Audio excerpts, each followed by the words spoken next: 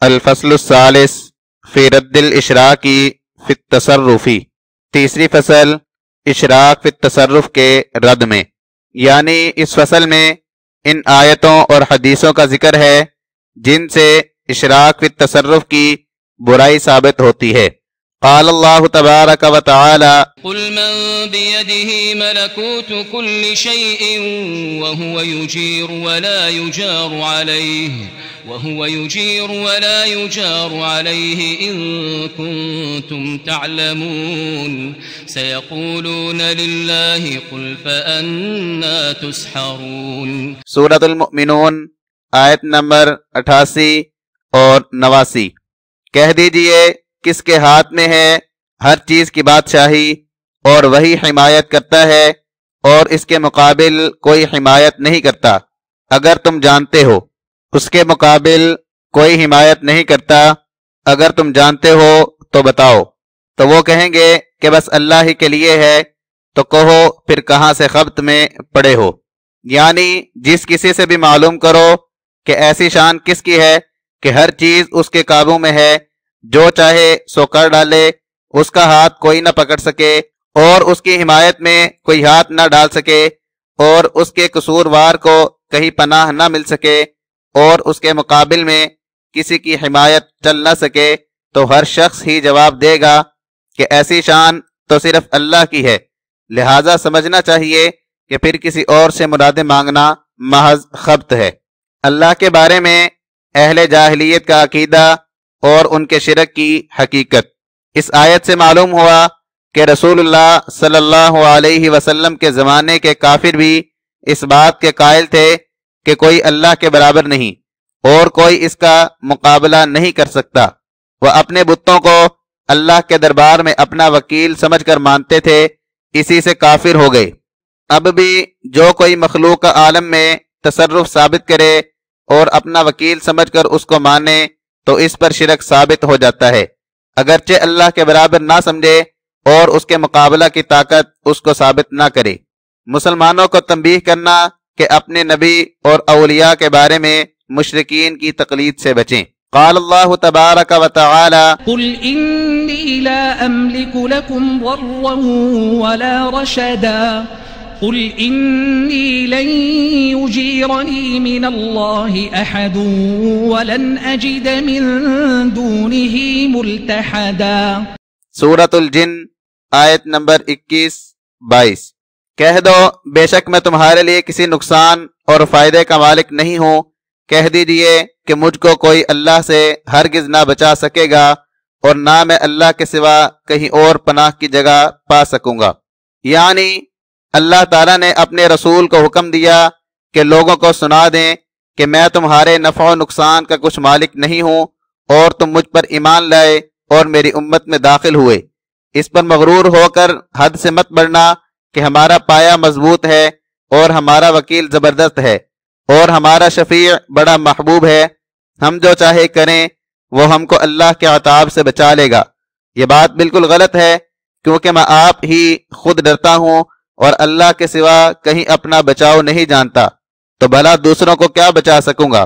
اس آیت سے معلوم ہوا کہ یہ جو عوام الناس میں اپنے پیروں، شہیدوں کی حمایت پر بھروسہ کر کے اللہ کو بھول جاتے ہیں اور اس کے احکام کی تعظیم نہیں کرتے، یہ محض گمراہ ہیں کہ تمام پیروں کے پیر رسول اللہ صلی اللہ علیہ وسلم رات دن اللہ سے ڈرتے تھے اس کی رحمت کے سوا کسی طرح اپنا بچاؤ نہیں سمجھتے تھے، پھر اور کسی کا کیا ذکر ہے؟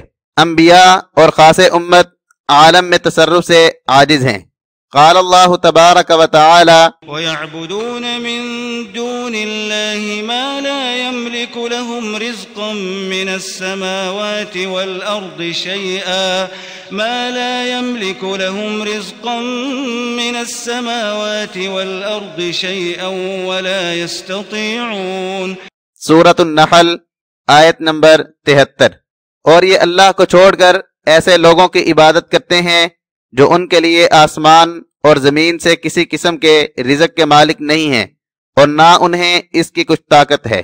یعنی یہ مشرق لوگ ایسے لوگوں کی اللہ جیسی تعظیم کرتے ہیں جنہیں کچھ اختیار حاصل نہیں اور وہ ان کی روزی پہنچانے میں کچھ دخل نہیں رکھتے۔ نہ آسمانوں سے می برسائیں، نہ زمین سے کچھ اگائیں اور ان کو کسی نوع کی قدرت نہیں۔ اس آیت سے معلوم ہوا کہ عوام میں کچھ لوگ جو یہ کہتے ہیں کہ انبیاء و اولیاء یا امام اور شہیدوں کو عالم میں تصرف کرنے کی قدرت تو ہے، لیکن اللہ کی تقدیر پر وہ شاکر ہیں اور اس کے ادب سے دم نہیں مارتے۔ اگر چاہیں تو ایک دم میں الٹ پلٹ کر دیں، لیکن شرع کی تعظیم کر کے چپ بیٹھے ہیں، تو یہ سب بات غلط ہے۔ بلکہ کسی کام میں نہ بالفعل ان کو دخل ہے، نہ اس کی طاقت رکھتے ہیں۔ قال اللہ تبارک و تعالی ولا تدع من دون الله ما لا ينفعك ولا يضرك. فإن فعلت فإنك إذا من الظالمين. سورہ یونس آیت نمبر 106 اور اللہ کو چھوڑ کر ایسوں کو مت پکارو جو نہ تم کو نفع دے سکیں اور نہ نقصان پہنچا سکیں۔ اگر تم نے ایسا کیا تو تم بھی ظالموں میں سے ہو جاؤ گے یعنی اللہ زبردست کے ہوتے ہوئے ایسے عاجز لوگوں کو پکارنا جو کچھ فائدہ اور نقصان نہیں پہنچا سکتے، محض بے انصافی ہے۔ کہ ایسی بڑی ذات کا مرتبہ ایسے ناکارہ لوگوں کو ثابت کیجیے۔ سفارش قبول کرنے کے سلسلے میں بادشاہوں اور عمراء کی عادت۔ قال اللہ تبارک و تعالی قل ادعوا الذين زعمتم من دون الله لا يملكون مثقال ذرة لا يملكون مثقال ذرة في السماوات ولا في الأرض وما لهم فيهما من شرك وما له منهم من ظهير. ولا تنفع الشفاعة عنده إلا لمن أذن له.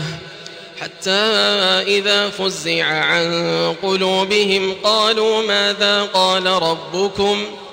قالوا الحق وهو العلي الكبير. سورة السبا آیت نمبر بائیس اور تیئیس۔ کہہ دو جن کو تم اللہ کے سوا اپنا حاجت روا سمجھتے ہو ذرا ان کو پکار کر دیکھ لو کہ وہ آسمانوں اور زمینوں میں ایک ذرہ کے برابر بھی ملکیت نہیں رکھتے۔ اور نہ زمین و آسمان میں ان کا کچھ ساجا ہے اور نہ ان میں سے کوئی اللہ کا مددگار ہے اور اللہ کے نزدیک صرف اسی کی شفاعت کام آئے گی جس کو اللہ اجازت دے۔ یہاں تک کہ جب گھبراہٹ دور ہوتی ہے ان کے دلوں سے تو کہتے ہیں، کیا فرمایا تمہارے رب نے؟ کہتے ہیں کہ حق اور وہی بلند اور بڑا ہے۔ یعنی جو کوئی کسی سے مراد مانگتا ہے اور مشکل کے وقت پکارتا ہے اور وہ اس کی ضرورت پوری کر دیتا ہے، تو یہ بات اس طرح ہوتی ہے کہ یا تو وہ خود مالک ہو یا مالک کا ساجی یا مالک پر اس کا دباؤ ہو۔ جیسے بڑے بڑے امیروں کا کہنا بادشاہ دب کر مان لیتا ہے کیونکہ وہ اس کے بازو ہیں، اور اس کی سلطن، اور اس کی سلطنت کے رکن۔ ان کے ناخوش ہونے سے سلطنت بگڑتی ہے یا اس طرح کے مالک سے سفارش کرے اور وہ اس کی سفارش خام خواہ قبول کر لے۔ پھر دل سے خوش ہو یا ناخوش؟ جیسے بادشاہ زادی یا بیگمات، کہ بادشاہ ان کی محبت سے ان کی سفارش رد نہیں کر سکتا، چارونا چار ان کی سفارش قبول کر لیتا ہے۔ جن کو اللہ کے سوا یہ لوگ پکارتے ہیں اور ان سے مرادیں مانگتے ہیں، نہ وہ آسمان و زمین میں ایک ذرہ کے مالک ہیں اور نہ کچھ ان کا ساجا ہے۔ اور نہ اللہ کی سلطنت کے رکن ہیں اور نہ اس کے بازو کہ ان سے دب کر ان کی بات مان لے اور نہ بغیر اور کوئی امیر یا وزیر اس کو اپنی سفارت سے بچا لے۔ ایک صورت یہ ہے کہ بادشاہ چاہتا ہے کہ اس چور کو گرفتار کیا جائے اور بادشاہ کے قانون کے مطابق اس چور کو سزا پہنچتی ہے۔ مگر اس امیر سے دب کر اس کی سفارش مان لیتا ہے اور اس چور کا قصور معاف کر دیتا ہے۔ کیونکہ وہ امیر اس کی سلطنت کا بڑا رکن ہے اور اس کی بادشاہت کو بڑی رونق دے رہا ہے۔ بادشاہ یہ سمجھ رہا ہے، ایک جگہ اپنے غصے کو تھام لینا اور ایک چور سے درگزر کرنا اس سے بہتر ہے کہ اتنے بڑے امیر کو ناخوش کر دیں کہ جس سے بڑے بڑے کام خراب ہو جائیں اور سلطنت کی رونق گٹ جائے۔ ایسی شفاعت کو شفاعت وجاہت کہتے ہیں یعنی اس امیر کی وجاہت کے سبب اس کی سفارش قبول کی۔ اس قسم کی سفارش اللہ کے دربار میں ہرگز ہرگز نہیں ہو سکتی اور جو کوئی نبی یا ولی کو یا امام اور شہید کو یا کسی فرشتے کو یا کسی پیر کو اللہ کی جناب میں اس قسم کا شفیع سمجھے وہ اصلی مشرق ہے اور بڑا جاہل ہے کہ اس نے اللہ کے معنی ہی نہیں سمجھے اور اس مالک الملک کی کچھ بھی قدر نہیں پہچانی۔ اس شہنشاہ کی تو شان یہ ہے کہ ایک آن میں ایک حکم کن سے چاہے تو کروڑوں نبی اور ولی اور جن اور فرشتے، جبریل اور محمد صلی اللہ علیہ وسلم کے برابر پیدا کر ڈالے اور ایک دم میں سارا عالم عرش سے فرش تک الٹ پلٹ کر ڈالے اور ایک ہی عالم اس جگہ قائم کر دے کہ اس کے تو مخفی ارادے ہی سے ہر چیز ہو جاتی ہے۔ کسی بھی کام کے لیے اسباب اور سامان جمع کرنے کی کچھ حاجت نہیں۔ اور اگر سب اگلے اور پچھلے لوگ جنات اور انسان بھی مل کر جبریل اور پیغمبر ہی جیسے ہو جائیں، تو اس مالک الملک کی سلطنت میں ان کے سبب کچھ رونق بڑھ نہ جائے گی۔ اور اگ سب اور اگر سب اور اگر سب شیطان اور دجال ہو جائیں، تو اس کی کچھ رونق نہیں گٹے گی۔ وہ ہر صورت سے بڑوں کا بڑا اور بادشاہوں کا بادشاہ ہے۔ اس کا نہ کوئی کچھ بگاڑ سکے اور نہ کچھ سنوار سکے۔ دوسری صورت یہ ہے کہ کوئی شہزادوں یا بیگمات میں سے یا کوئی بادشاہ کا معشوق اس چور کا سفارشی ہو کر کھڑا ہو جائے اور چوری کی سزا نہ دینے دے اور بادشاہ اس کی محبت سے لاچار ہو کر اس چور کی تقسیر معاف کر دے تو اس کو شفاعت محبت کہتے ہیں۔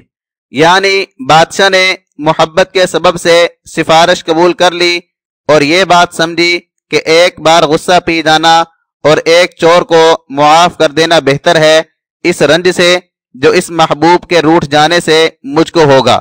اس قسم کی شفاعت بھی اس دربار میں کسی طرح ممکن نہیں اور جو کوئی کسی کو اس کی جناب میں اس قسم کا شفیع سمجھے، وہ بھی ایسا ہی مشرق اور جاہل ہے جیسا کہ اول مذکور ہو چکا ہے۔ وہ مالک الملک اپنے بندوں کو بہترا ہی نوازتا ہے۔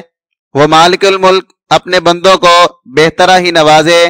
اور کسی کو حبیب کا، کسی کو خلیل کا، کسی کو کلیم کا، کسی کو روح اللہ کا خطاب بخشے اور کسی کو رسول کریم اور مکین اور روح القدس اور روح الامین فرما دے، مگر پھر بھی مالک مالک اور غلام غلام۔ کوئی بندگی کے رتبے سے قدم باہر نہیں رکھ سکتا اور غلامی کی حد سے زیادہ نہیں بڑھ سکتا، جیسا کہ اس کی رحمت سے، ہر دم خوشی سے جھکتا ہے ویسے ہی اس کی حیبت سے رات دن زہرا پھٹتا ہے۔ حقیقی اسلامی شفاعت۔ تیسری صورت یہ ہے کہ چور پر چوری ثابت ہو گئی، مگر وہ ہمیشہ کا چور نہیں اور چوری کو اس نے اپنا پیشہ نہیں ٹھہرایا۔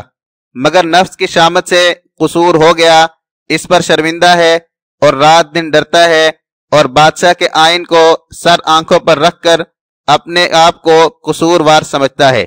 اور سزا کے لائق جانتا ہے اور بادشاہ سے بھاگ کر کسی امیر اور وزیر کی پناہ نہیں ڈھونڈتا اور اس کے مقابلہ میں کسی کی حمایت نہیں جتاتا اور رات دن اس کا منہ دیکھ رہا ہے کہ دیکھیے میرے حق میں کیا حکم فرما دے۔ اس کا حال دے کر بادشاہ کے دل میں اس پر ترس آتا ہے، مگر آئین بادشاہت کا خیال کر کے بے سبب درگزر نہیں کرتا کہ کہیں لوگوں کے دلوں میں اس آئین کی قدر نہ گھٹ جائے۔ کوئی وزیر و امیر اس کی مرضی پا کر اس میں قصور وار کی سفارش کرتا ہے اور بادشاہ امیر کی عزت بڑھانے کو ظاہر میں سفارش کا نام کر کے اس چور کا قصور معاف کر دیتا ہے۔ اس امیر نے اس چور کی سفارش اس لیے نہیں کی کہ اس کا قرابتی ہے یا آشنا، یا اس نے اس کی حمایت کا ذمہ لیا ہے، بلکہ بات بلکہ محض بادشاہ کی مرضی سمجھ کر سفارش کی، کیونکہ وہ تو بادشاہ کا امیر ہے، نہ کہ چوروں کا۔ اور جو چور کا حمایتی بن کر اس کی سفارش کرتا ہے، تو خود بھی چور ہو جاتا ہے۔ اس کو شفاعت بالعزن کہتے ہیں۔ یعنی یہ سفارش خود مالک کی اجازت سے ہوتی ہے، اللہ کی جناب میں اس قسم کی شفاعت کا قرآن مجید اور حدیث میں ذکر ہے۔ اس کے معنی یہی ہے کہ ہر بندے کو چاہیے کہ ہر دم اللہ ہی کو پکارے اور اسی سے ڈرتا رہے اور اسی سے التجا کرتا رہے اور اسی کے روبرو اپنے گناہوں کا قائل رہے اور اسی کو اپنا مالک بھی سمجھے اور حمایتی بھی اور جہاں تک خیال دوڑائے اللہ کے سوا کہیں اپنا بچاؤ نہ جانے اور کسی کی حمایت پر بھروسہ نہ کرے کیونکہ وہ خود بڑا غفور الرحیم ہے سب مشکلیں اپنے ہی فضل سے کھول دے گا اور سب گناہ اپنی رحمت سے بخش دے گا۔ اور جس کو چاہے گا اپنے حکم سے اس کا شفیع بنا دے گا۔ غرض یہ کہ جیسے اپنی ہر حالت اسی کو سونپنا چاہیے، اسی طرح ہر حالت بھی اسی کے اختیار میں چھوڑ دیجیے۔ جس کو وہ چاہے ہمارا شفیع کر دے۔ نہ یہ کہ کسی کی حمایت پر بھروسہ کیجیے اور اس کو اپنی حمایت کے واسطے پکاریے۔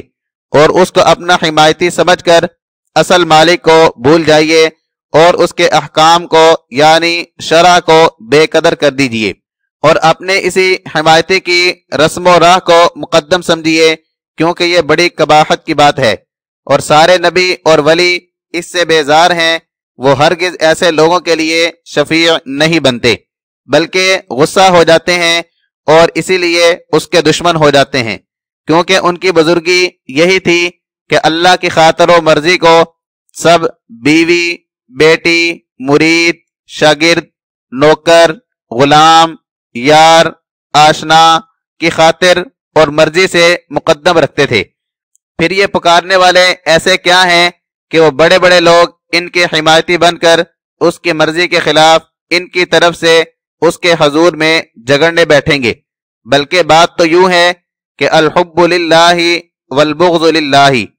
اللہ ہی کے لیے محبت اور اللہ ہی کے لیے عداوت، ان کی شان ہے، جس کے حق میں اللہ کی خوشی یوں ٹھہری کہ اس کو دو میں بھیجو تو وہ اسے اور دو چار دکے دینے کو تیار ہیں۔ اللہ کے سوا کسی کی حمایت اور حفاظت کی ضرورت نہیں۔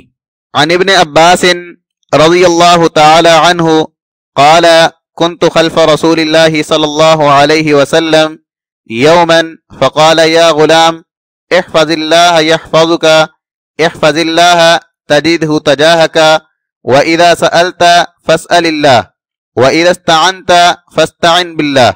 واعلم أن الأمة لو اجتمعت على أن ينفعوك بشيء لم ينفعوك إلا بشيء قد كتبه الله لك. ولو اجتمعوا على على أن يضروك بشيء لم يضروك إلا بشيء قد كتب الله عليك. رفعت الأقلام وجفت الصحف. اخرجہ الترمزی عبداللہ بن عباس رضی اللہ تعالی عنہ سے روایت ہے، وہ کہتے ہیں، میں ایک دن رسول اللہ صلی اللہ علیہ وسلم کی سواری کے پیچھے تھا کہ آپ نے فرمایا، اے بچے، اللہ کو یاد رکھ، اللہ تجھے یاد رکھے گا۔ اللہ کو یاد رکھ تو اسے اپنے سامنے پائے گا۔ جب تم کچھ مانگو تو اللہ ہی سے مانگو۔ اور جب تم مدد چاہو، تو اللہ ہی سے مدد چاہو۔ اور یقین رکھو کہ اگر سب لوگ اس بات پر متفق ہو جائیں کہ تم کو فائدہ پہنچائیں، تو تم کو اتنا ہی فائدہ پہنچا سکیں گے جتنا اللہ نے تمہارے حق میں لکھ رکھا ہے۔ اور اگر سب لوگ اس بات پر اکٹھے ہو جائیں کہ تم کو کچھ نقصان پہنچائیں، تو اتنا ہی نقصان پہنچا سکیں گے جتنا اللہ نے تمہارے حق میں لکھ رکھا ہے۔ قلم اٹھا لیے گئے اور کاغذ سوکھ گئے۔ اس حدیث کو ترمزی نے بیان کیا ہے۔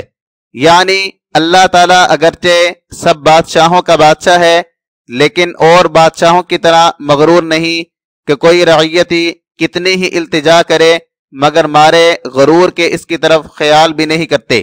اس لیے رعیتی لوگ دیگر امیروں کو مانتے ہیں اور ان کا وسیلہ ڈھونڈتے ہیں۔ تاکہ انہی کی خاطر سے التجا قبول ہو۔ بلکہ وہ بڑا کریم و رحیم ہے، وہاں کسی کی وکالت کی حالت نہیں جو اس کو یاد رکھے۔ وہ آپ ہی اس کو یاد رکھتا ہے، کوئی سفارش کرے یا نہ کرے۔ اور اسی طرح گو کہ وہ سب چیزوں سے پاک ہے اور سب سے بلند، مگر اور بادشاہوں کی طرح اس کا دربار نہیں کہ رعیتی لوگ وہاں پہنچ نہ سکیں۔ اور امیر و وزیر ہی رعیت پر حکم چلائیں۔ اور رعیت کے لوگوں کو انہی کا حکم ضرور ماننا پڑے اور انہی کا دربار کرنا پڑے۔ بلکہ وہ اپنے بندوں سے بہت ہی نزدیک ہے، جو ادنا بندہ اپنے دل سے اس کی طرف متوجہ ہوئے، وہ وہی اس کو اپنے سامنے پائے۔ بندہ اپنی غفلت کے سبب سے دور ہے اور اللہ سب سے نزدیک ہے۔ پھر جو کوئی کسی پیر و پیغمبر کو پکارتا ہے کہ وہ اس کو اللہ سے نزدیک کر دیں، یہ نہیں سمجھتا ہے کہ پیر و پیغمبر تو اس سے دور ہیں اور اللہ نہایت نزدیک۔ یہ ایسا ہو جاتا ہے کہ ایک رعیتی آدمی اپنے بادشاہ کے پاس اکیلا بیٹھا رہے اور وہ بادشاہ اس کی غرض سننے کو متوجہ ہے۔ پھر وہ رعایا کسی امیر و وزیر کو کہیں دور سے پکارے کہ تو میری طرف سے فلاں بات بادشاہ کے حضور میں عرض کر دے۔ تو ایسا شخص یا تو اندھا ہے یا دیوانہ۔ اور فرمایا کہ ہر مراد اللہ ہی سے مانگے اور ہر مشکل میں اسی کی مدد چاہے۔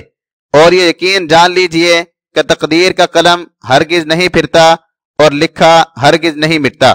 پھر اگر سارے جہان کے بڑے اور چھوٹے مل کر چاہیں کہ کسی کو کچھ نفع نقصان پہنچائیں تو اللہ کے لکھے ہوئے سے کچھ بڑھ نہیں سکتا۔ اللہ کے نیک بندے اللہ سے صرف دعا اور سوال ہی کی طاقت رکھتے ہیں۔ اس حدیث سے معلوم ہوا کہ بعض عوام الناس میں سے جو یہ کہتے ہیں کہ اولیاء اللہ کو اللہ نے یہ طاقت بخشی ہے کہ تقدیر کو بدل ڈالیں یعنی جس کی تقدیر میں اولاد نہیں، اس کو اولاد دے دیں۔ جس کی عمر پوری ہو چکی ہے، اس کی عمر بڑھا دیں۔ تو یہ بات بالکل صحیح نہیں، بلکہ یوں سمجھنا چاہیے کہ اللہ نے اپنے ہر بندے کو کبھی دعا، بلکہ یوں سمجھنا چاہیے کہ اللہ اپنے بندے کی کبھی دعا قبول کر لیتا ہے۔ اور انبیاء اور اولیاء کی دعا کو زیادہ تر قبول کرتا ہے۔ مگر دعا کی توفیق دینا بھی اسی کے اختیار میں ہے اور قبول کرنا بھی۔ اور دعا کرنی اور مراد ملنی دونوں باتیں تقدیر میں لکھی ہیں۔ تقدیر سے باہر کوئی دنیا، تقدیر سے باہر کوئی کام دنیا میں نہیں ہو سکتا۔ اور کسی میں کچھ کر، اور کسی میں کچھ کام کرنے کی قدرت نہیں۔ ہر بندہ بڑا ہو یا چھوٹا نبی ہو یا ولی، سوائے اس کے کہ اللہ سے مانگے اور اس کی جناب میں دعا کرے، کچھ اور طاقت نہیں رکھتا۔ پھر وہ مالک و مختار ہے، چاہے اپنی مہ... پھر وہ مالک و مختار ہے، چاہے اپنی مہربانی سے قبول کر لے، چاہے اپنی حکمت کی راہ سے قبول نہ کرے۔ ضعیف العقیدہ کا خیال منتشر رہتا ہے اور موحد فکر و خیال کا اٹل ہوتا ہے۔ عن عمر بن العاص رضی اللہ تعالی عن قال قال رسول اللہ صلی اللہ علیہ وسلم ان لقلب ابن آدم لكل واد شعبة، فمن اتبع قلبه الشعب كلها لم يبال الله بأي واد أهلكه، ومن توكل على الله كفاه الشعب. اخرجه ابن ماجہ امر بن عاص رضی اللہ تعالی عنہ سے روایت ہے کہ رسول اللہ صلی اللہ علیہ وسلم نے فرمایا کہ بے شک آدمی کے دل کی ہر میدان کی طرف راہ ہے۔ جو شخص ان سب راہوں کی طرف اپنے دل کو لگا دے تو اللہ کو کچھ پرواہ نہیں کہ کس وادی میں اس کو ہلاک کر دے۔ اور جو شخص اللہ پر بھروسہ کرے تو اللہ اس کے لیے سب راہوں میں کافی ہے۔ اس حدیث کو ابن ماجہ نے بیان کیا ہے۔ یعنی جب آدمی کو کسی چیز کی طلب ہوتی ہے یا کوئی مشکل پیش آ جاتی ہے، تو اس کے دل میں ہر طرف خیال دوڑتے ہیں کہ فلاں پیغمبر کو پکاریے، فلاں امام کی مدد چاہیے، فلاں پیر و شہید کی منت مانیے، فلاں پری کو مانیے، فلاں نجومی اور رمال سے پوچھئے فلاں ملا سے فال لکھ، فلاں ملا سے فال کھلوائیے۔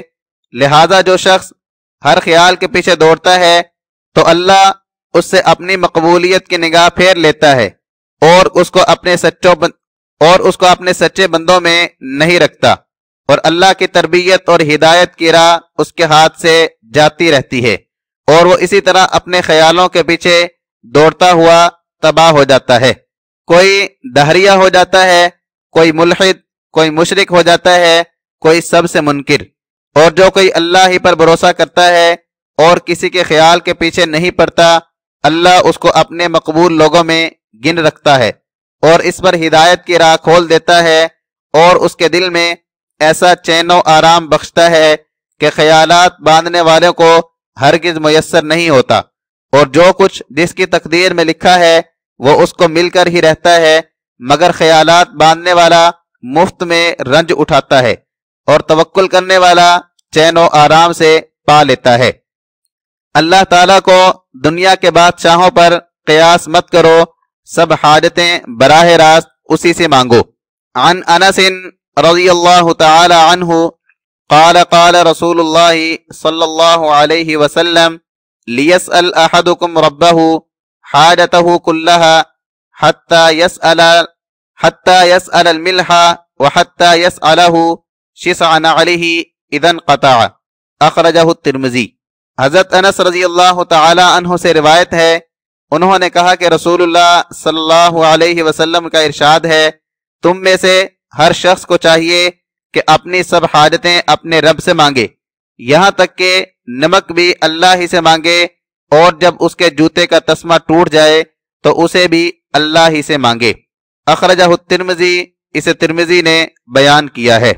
یعنی اللہ تعالیٰ کو بادشاہوں کی طرح نہ سمجھے کہ وہ بڑے بڑے کام خود کرتے ہیں اور چھوٹے چھوٹے کام نوکروں کے حوالے کر دیتے ہیں۔ لوگوں کو چھوٹے چھوٹے کاموں میں نوکروں سے التجا کرنی پڑتی ہے۔ اللہ کے یہاں کا کارخانہ ایسا نہیں، بلکہ وہ ایسا قادر مطلق ہے کہ آپ ہی ایک ہی آن میں کروڑوں کام چھوٹے اور بڑے درست کر سکتا ہے۔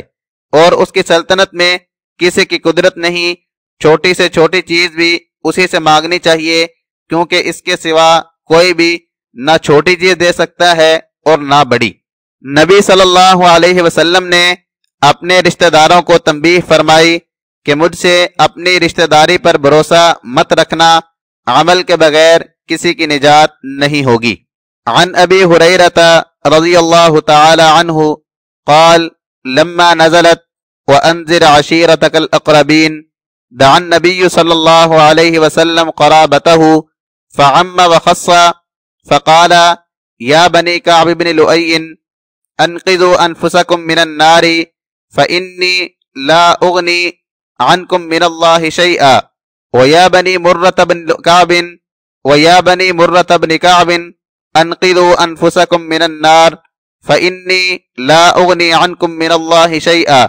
ويا بني عبد شمس أنقذوا أنفسكم من النار فإني لا أغني عنكم من الله شيئا. وَيَا بَنِي عَبْدِ مَنَافٍ أَنْقِذُوا أَنفُسَكُمْ مِنَ النَّارِ فَإِنِّي لَا أُغْنِي عَنْكُمْ مِنَ اللَّهِ شَيْئًا. وَيَا بَنِي عَبْدِ الْمُطَّلِبِ أَنْقِذُوا أَنفُسَكُمْ مِنَ أَنْقِذُوا أَنفُسَكُمْ مِنَ النَّارِ فَإِنِّي لَا أُغْنِي عَنْكُمْ مِنَ اللَّهِ شَيْئًا. يَا فَاطِمَةُ أَنْقِذِي نَفْسِكِ أَنْقِذِي نَفْسَكِ مِنَ النَّارِ. سَلِينِي مَا شِئْتِ مِن مَالِي فَإِنِّي لَا أُغْنِي عَنْكِ مِنَ اللَّهِ شَيْئًا. اخرجہ البخاری و مسلم ابو حریرہ رضی اللہ تعالی عنہ سے روایت ہے کہ جب یہ آیت وَأَنذِرْ عَشِيرَتَكَ الْأَقْرَبِينَ، کہ اپنے قرابت داروں کو ڈرائیے نازل ہوئی، تو نبی صلی اللہ علیہ وسلم نے اپنے قرابت داروں کو بلایا اور اکٹھا کر کے عام کو مخاطب کر کے بھی کہا اور الگ الگ بھی کہا، فرمایا، اے کعب بن لوئی کے بیٹے اے کاب بن لوئی کے بیٹو، تم اپنی جان کو آگ سے بچاؤ۔ میں تمہیں اللہ کی طرف سے نہیں بچا سکتا۔ اور اے مرہ بن کاب کے بیٹو، اپنے آپ کو آگ سے بچاؤ۔ میں اللہ کے یہاں کچھ اختیار نہیں رکھتا۔ اور اے عبد شمس کے بیٹو، اپنے آپ کو جہنم کی آگ سے بچاؤ۔ میں اللہ کے ہاں تمہارے کچھ کام نہیں آؤں گا۔ اور اے عبد مناف کی اولاد، اپنے آپ کو آگ سے بچاؤ۔ میں اللہ کے ہاں تمہارے کچھ کام نہ آؤں گا۔ اور اے عبد المطلب کے بیٹو، اپنے آپ کو آگ سے بچاؤ، میں اللہ کے ہاں تمہارے کچھ کام نہ آؤں گا۔ اور اے فاطمہ، اپنے آپ کو آگ سے بچا اور مجھ سے میرا مال جتنا چاہے مانگ، لیکن میں اللہ کے ہاں تیرے کچھ کام نہ آؤں گا۔ یعنی اور لوگ کسی بزرگ کے رشتہ دار ہوتے ہیں، ان کو اس کی حمایت پر بھروسہ ہوتا ہے اور اس پر مغرور ہو کر اللہ کا خوف کم رکھتے ہیں۔ اس لیے اللہ تعالی نے اپنے پیغمبر کو فرمایا کہ اپنے قرابت داروں کو ڈراؤ۔ آپ نے سب کو، بلکہ اپنی بیٹی تک کو کھول کر سنا دیا کہ قرابت کا حق ادا کرنا اسی چیز میں ہو سکتا ہے جو اپنے اختیار میں ہو۔ میرا مال ہے، اس میں مجھ کو بخل نہیں۔ اور اللہ کے ہاں ما، اور اللہ کے ہاں کا معیار میرے اختیار سے باہر ہے۔ وہاں میں کسی کی حمایت نہیں کر سکتا اور کسی کا وکیل نہیں بن سکتا۔ وہاں کا معاملہ ہر کوئی اپنا درست کرے اور دوزک سے بچنے کی ہر کوئی تدبیر کرے۔ اس حدیث سے معلوم ہوا کہ فقط قرابت کسی بزرگ کی اللہ کے ہاں کچھ کام نہیں آتی۔ جب تک سب کچھ معاملہ اللہ ہی سے صاف نہ کرے تو کچھ کام نہیں نکلتا۔